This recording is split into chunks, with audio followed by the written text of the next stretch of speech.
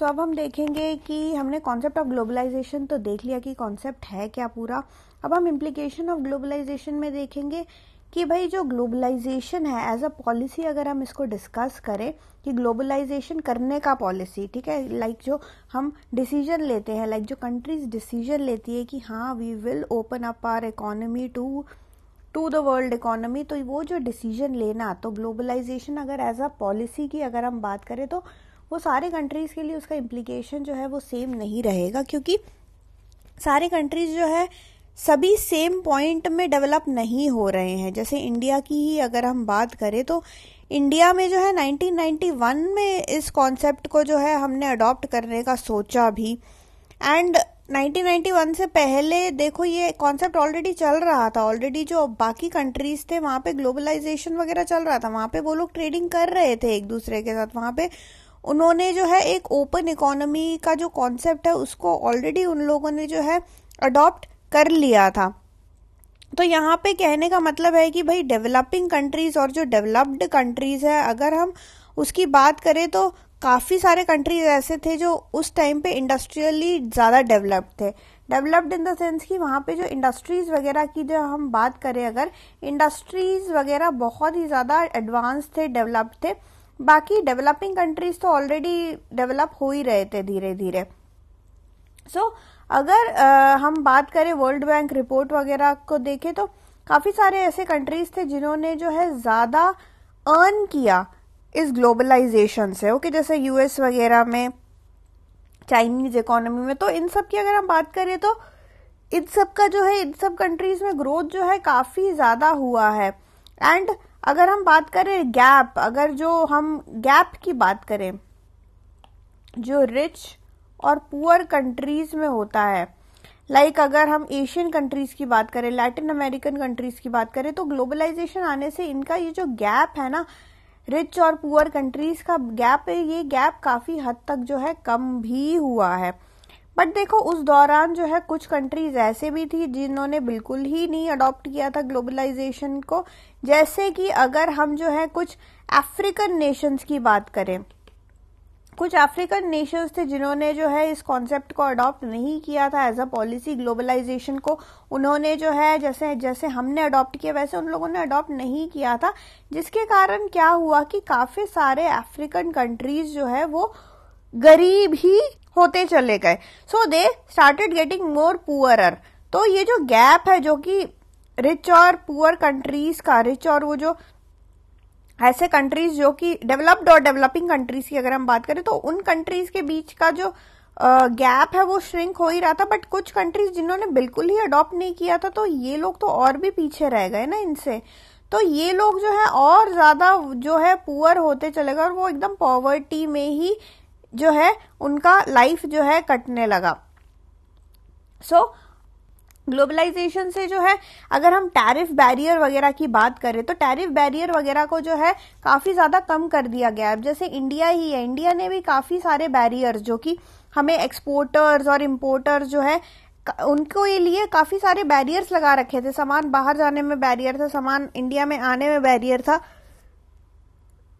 सो उन बैरियर्स को वगैरह हटा दिया गया ताकि ग्लोबलाइजेशन हो और जो ट्रेडिंग वगैरह है बिटवीन द कंट्रीज़ वो जो है प्रॉपर होता चला जाए। सो so, ये लोअर टैरिफ बैरियर वगैरह करने से जो है जो डेवलपिंग कंट्रीज़ है उनमें काफ़ी फेवरेबल आउटकम आपको देखने को मिले। फेवरेबल आउटकम कैसे कि इनका जो एक्सपोर्ट वगैरह है वो काफ़ी ज़्यादा बढ़ गया। Okay so there was increasing in export और इसके कारण एम्प्लॉयमेंट जो है एम्प्लॉयमेंट अपॉर्चुनिटीज़ जो है काफ़ी ज़्यादा बढ़ते चले गए। Okay okay?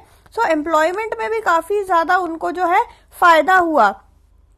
फिर अगर हम बात करें नेशनल इनकम की नेशनल इनकम भी जो है वो इंक्रीज होता चला गया। तो ये सब तो बहुत ही अच्छी बात है है ना? और जो लेबर है और जो हमारा कैपिटल है, वो कैपिटल जो है नए नए एक्सपोर्ट इंडस्ट्रीज़ में लगने लग गया। जो कैपिटल वगैरह जो पहले नॉर्मल लगता था, वो अब जो एक्सपोर्ट हाउसेज है एक्सपोर्ट इंडस्ट्रीज़ है, उन सारे यूनिट्स में जो है वो कैपिटल और हर चीज़ लगने लगा। तो इस चीज़ के कारण जो है वो अच्छा ये बहुत ही अच्छा है। ये चीज़ जो है, ये जो सिचुएशन जो है, ये हमारे डेवलपिंग कंट्रीज़ के लिए बहुत अच्छा है। उनका एक्सपोर्ट बढ़ रहा है, उनका एम्प्लॉयमेंट अपॉर्चुनिटीज़ बढ़ रहा है। लोग उनके जो है वो पॉवर्टी से बाहर निकल निकल के आ रहे हैं। नेशनल इनकम जो है नेशनल पर कैपिटल इनकम सब इंक्रीज हो रहा है। कैपिटल जो है कैपिटल सारा मूवमेंट हो रहा है इस एरिया में। प्लस ऐसे कंपनीज़ में जो वर्किंग कंडीशंस है वो भी आपको बहुत ही अच्छे लेवल का मिल रहा है। तो ये सारा जो चीज़ है वो बहुत ही ज़्यादा अच्छा है। अगर हम ग्लोबलाइजेशन uh, का इम्प्लीकेशन देखें for developing countries okay so developing countries के लिए ये जो है काफ़ी ज़्यादा अच्छा। डेवलप्ड कंट्रीज़ के लिए तो देखो फ़ायदा है ही है बट डेवलपिंग कंट्रीज़ के लिए स्पेशली जो है वो अच्छा ही है ये चीज़। अभी जो लोअर टैरिफ बैरियर्स है इन जैसे डेवलपिंग कंट्रीज़ में टैरिफ बैरियर्स कम हुआ तो इसका फ़ायदा जो है जो डेवलप्ड कंट्रीज़ के बिग बिग कॉपरेशन है बिग बिग एमएनसीज है वो सब इसका ना फ़ायदा उठा सकते हैं। वो लोग यहाँ पे इन्वेस्ट कर सकते हैं एफडीआई वगैरह इस एरिया में आ सकता है। सो so, और प्लस ये इस एरिया के लाइक जो डेवलपिंग कंट्रीज़ है वहाँ पे लेबर वगैरह चीप मिलता है तो उसका फ़ायदा जो है ये बिग कॉपरेट्स उठा सकते हैं जो कि ऑलरेडी डेवलप्ड कंट्रीज़ में है। अब यहाँ पे इससे फ़ायदा देखो दोनों का होगा।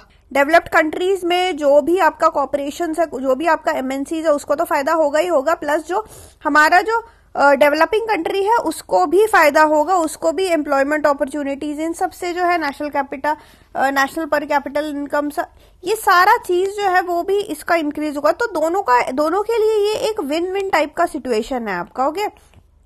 दोनों के लिए this is a win win situation इसके अलावा डेवलपिंग कंट्रीज़ को देखो एक चीज़ ध्यान रखना पड़ेगा to efficiently use their resources okay so globalisation के लिए ग्लोबलाइजेशन में देखो अब यहाँ पे आपका जो डोमेस्टिक कॉम्पिटिटर है वो नहीं रहा। डोमेस्टिक कॉम्पिटिटर्स पहले थे आप उन्हीं से भिड़ते रहते थे। बट अब आपके पास जो है ग्लोबल कंपटीशन आ गया है। ग्लोबल कंपटीशन में मतलब सारे कंट्रीज़ के लोगों के साथ आप कॉम्पीट कर रहे हो यहाँ पे। सो so, तो ये फ़ायदा तो है ही है। नेक्स्ट अगर हम बात करें कि जो स्मॉल और मीडियम स्केल इंडस्ट्रीज़ होते हैं, जो कंट्री डोमेस्टिक हमारे जो small and medium scale industries है, इनको देखो थोड़ा सा जो है, तकलीफ़ तो होगा ही होगा, क्योंकि ये लोग जो है, जो स्मॉल कंपनीज़ होते हैं स्मॉल स्केल यूनिट्स होते हैं, उन लोगों को जो है सीधा मल्टीनेशनल एमएनसी से टक्कर लेने में काफ़ी दिक्कत होगा, क्योंकि एमएनसी के पास बहुत ज़्यादा पैसा है। एक तो पावर इनके पास बहुत है, इनके पास पैसा बहुत ज़्यादा है फंडिंग वगैरह कैपिटल वगैरह रिसोर्सेज मेनली अगर हम बात करें ये चीज़ रिसोर्सेज की आती है। रिसोर्सेज जो है एमएनसीज के पास बहुत ज़्यादा रहता है, इसलिए इससे जो है टक्कर देना small and medium scale units के लिए काफ़ी ज़्यादा जो है मुश्किल सा हो जाता है। और अगर ऐसे केस में अगर वो टक्कर नहीं दे पाए तो क्या होगा? वहाँ पे जो है अनएम्प्लॉयमेंट जैसे प्रॉब्लम वगैरह आएगी अगर आप उनको टक्कर नहीं दे पाओगे तो। और अगर अपना जो है आप अपना कैपिटल और अपना चीज़ जो है ठीक से यूज़ नहीं कर पाओगे तो दिक्कत तो आपको होगा ही होगा। प्लस अनदर एक चीज़ है जो कि ग्लोबलाइजेशन का अगर हम नेगेटिव पॉइंट में बोले, ये जो है, ये पॉइंट्स सारे नेगेटिव आपको देखेगा कि ये नेगेटिव साइड में जा रहा है ग्लोबलाइजेशन का। तो ये एक नेगेटिव एस्पेक्ट को दिखाता है ग्लोबलाइजेशन का, जहाँ पे जो है एमएनसीज और कॉर्पोरेट्स बिग कॉर्पोरेट जो होते हैं प्लस जो एमएनसीज होते हैं, ये सब जो है मार्केट को कैप्चर कर लेते हैं ओके लाइक अगर एक साबुन है बहुत छोटा हम एग्ज़ाम्पल ले रहे हैं, एक सोप है। अब सोप जो है ऑलरेडी कोई एसएमई जो है, वो बना रहा होगा कोई let say X Y Z company okay X Y Z जो है, ये अपना सोप जो है बना रहा होगा ऑलरेडी मार्केट में बेच रहा होगा। बट कहीं से जो है, एक एमएनसी आया और एमएनसी जो है अपना सस्ता सा जो है दस रुपए का सोप लेके आ गया। और वो इतना ज़्यादा, क्योंकि एमएनसी के पास जो है प्रोडक्शन करने का कैपेसिटी ज़्यादा, उनके पास मार्केटिंग करने का केपेबिलिटी ज़्यादा, क्योंकि उनके पास रिसोर्सेज बहुत ज़्यादा है। तो उन्होंने जो है मार्केट को पूरा फ्लड कर दिया इस दस रुपए के साबुन से। तो हर जगह, और इसका एड भी इतना भयंकर कर दिया कि कस्टमर जो है, जब खरीदने जाएगा ना प्रोडक्ट तो वो ऑटोमेटिकली उस दस रुपए के साबुन को उठाएगा। क्योंकि इतना उसने एड देखा है, इतना उसने प्रचार सुना है इसका।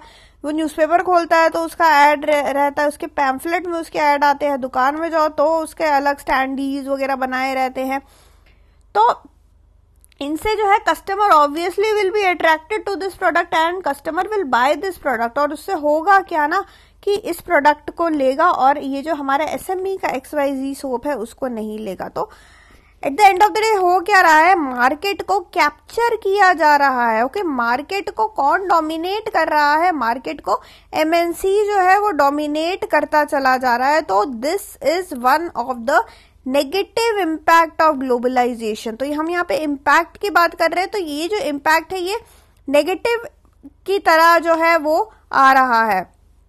प्लस इसके अलावा काफ़ी काफ़ी सारे हार्मफुल प्रोडक्ट्स वगैरह काफ़ी बार जो है आ, अपने कंट्री में डोमेस्टिक जगह पे जाके ना डंप किए वगैरह जाते हैं तो ये सारा जो है आ, बहुत बिग कॉपरेशन करते हैं जो कि बहुत ही खतरनाक है आ, हमारे कंट्री के सिटीजन्स के लिए। तो यहाँ पे जो है, हमारे गवर्नमेंट को इंटरवीन वगैरह करना पड़ता है काफ़ी बार जो है, ऐसे सिचुएशंस में। तो ये सारा जो है इम्प्लीकेशन हमने देखा इम्प्लीकेशन में देखो पॉजिटिव इम्प्लीकेशन तो है ही है।